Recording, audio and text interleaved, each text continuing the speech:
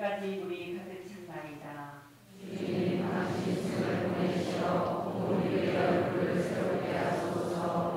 골짜기마다 샘물 터뜨리시니 산과 산 굽이굽이 흘러내려 하늘의 새들은 그 곁에 깃들이고 나뭇가지 사이에서 지적이 나이다.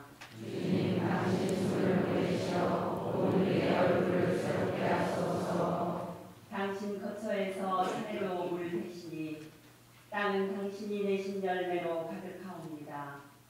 가축을 위하여 풀이 나게 하시고 사람을 위하여 남을 돋게 하시나이다.